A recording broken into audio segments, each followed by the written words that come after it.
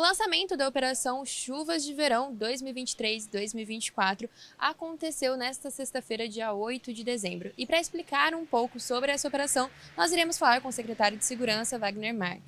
Wagner, o que é essa operação? É um programa preventivo com relação às chuvas de verão, que agora acontecem de forma recorrente né, entre os meses de dezembro e o mês de março. E durante esse período nós estaremos realizando várias ações preventivas né, para que, se houver a, a, chuva com maior intensidade, as equipes estejam preparadas e a cidade também possa ter o mínimo de impacto possível diante dessas chuvas.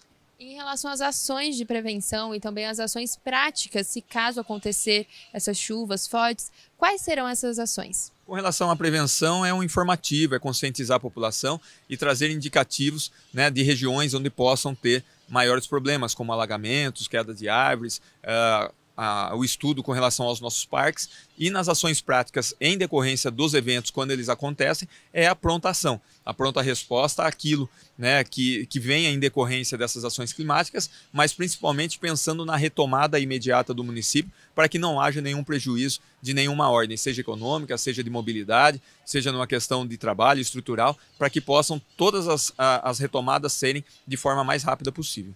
Recentemente a gente teve uma tragédia de uma loja que acabou sendo incendiada. É, e a ação de todos os órgãos foi muito rápida. Isso também vai ser trabalhado nessa operação de uma ação muito rápida?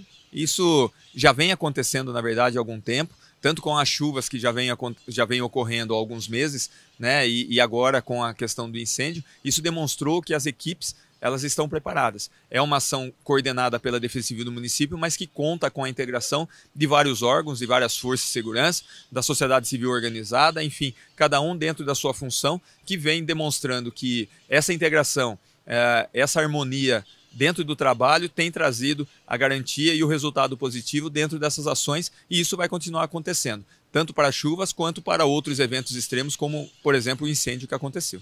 E tem alguma forma da população ajudar nessa operação? Alguma, algum meio para eles é, falarem esse lugar está é, alagado, algo do tipo? É, nós já temos apontados, né, feito comunicações em relação aos pontos críticos do município, diante dos estudos realizados, mas cabe à população aí uma ação de conscientização de algumas ações, por exemplo, como não deixar o lixo espalhado para a rua, é, caso vem acontecer alguma chuva, é, pode acontecer o alagamento, pode acontecer as enxurradas, e fica as orientações de se estarem atentas às comunicações da Defesa Civil por meio da Prefeitura Municipal, para que possam sempre se antecipar né, a essas ações para que os riscos sejam menores. Wagner, e em relação aos novos equipamentos, também foi apresentado que a Defesa Civil teve novos equipamentos. Quais são eles? Para que, que eles serão usados? É, nós recebemos vários equipamentos é, em virtude aí de convênios com o Estado, de, do governo do Estado de São Paulo, como kits guaranis que servem aí para o combate a, a focos de incêndio, equipamentos de proteção individual, como capacetes, geradores, luvas, é, como o próprio é, protetor né, os gazebos que a gente recebeu, e isso tudo é investimento que são feitos na Defesa Civil para que a gente possa utilizá-los aí em prol da sociedade. E tudo isso vem em decorrência do ótimo trabalho que vem sendo realizado na gestão do prefeito Mário Botion, é, junto ao governo do estado, mas também principalmente no investimento ao município para a proteção e garantia é, do nosso cidadão, que é o nosso maior patrimônio. Bom, e essa operação, ela traz ainda mais segurança para nossa cidade, principalmente nesse período em que as chuvas são mais frequentes. Com imagens de Gustavo Molina, Letícia Viganó, para Educadora. Educadora.